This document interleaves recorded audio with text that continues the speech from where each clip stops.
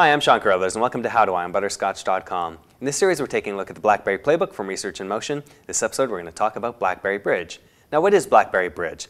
Well, if you fired up the BlackBerry Playbook and started to look through the apps, you'll probably have noticed that there's no calendar on it, there's no email, there's not a lot of other things on there that you may actually be expecting from your BlackBerry smartphone to appear on this. Now, one of the things that they've done for security reasons is actually made it necessary to connect to your BlackBerry smartphone to actually get access to those. And to do that, you need something called BlackBerry Bridge. Now it's worth noting that you need a relatively recent BlackBerry smartphone in order to make this work. You can't use another company's smartphone and you can't use older BlackBerry smartphones either. You need something from the 8300 series or up. You'll probably want to get something relatively new if you want to make this work really, really well. You'll need something that has BlackBerry OS 5 on board and you may have to upgrade the firmware to make that happen even if you do have a model that is theoretically supported.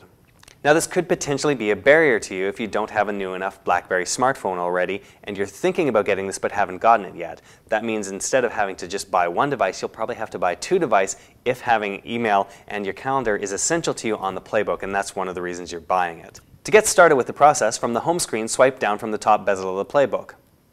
Now the next part of the setup process assumes that your BlackBerry Playbook is already connected to your smartphone using Bluetooth. If you haven't already done that yet, go back one part in our series and we'll show you how to do that. Then come back to this part and resume the process from there. On the left-hand column, you see an item that says BlackBerry Bridge. Tap on that. If you've already set up your BlackBerry smartphone, it should appear on the list on the bottom right. Tap on it to continue.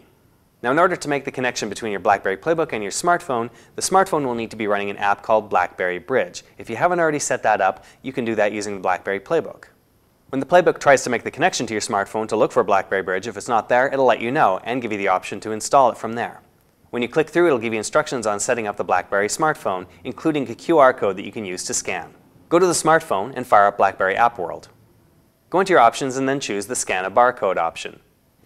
Click Continue, and then you can point your smartphone at the QR code on the BlackBerry Playbook, and it'll automatically take you to the download page. Tap Download on the smartphone, enter user authentication, and then it'll start to download the application. Now before you're ready to go, you'll need to set up the BlackBerry Bridge application on the smartphone. Find it in your list of apps and tap on it. Go down through the license agreement, and then accept the agreement. Make sure BlackBerry Bridge is turned on, and then you should be ready to go. Go back to your BlackBerry Playbook, go back a couple of steps, and then click on your phone again, and it should initiate a connection. A request will appear on both the smartphone and the Playbook. Tap yes at both ends to continue. Then on the smartphone, you'll see a request to accept an incoming connection. Accept this request, and then it'll ask you for a secret code, which will appear on the screen of the BlackBerry Playbook. Once you enter this code in, it should complete the setup. Then once it completes the setup process, you can actually see on the BlackBerry Playbook a new tab under the application menu that says BlackBerry Bridge. When you look through that, you'll see a few options, including your calendar, you'll see your contacts, you'll see email, and you'll see a few other items that didn't previously appear on the Playbook which you already had on the smartphone.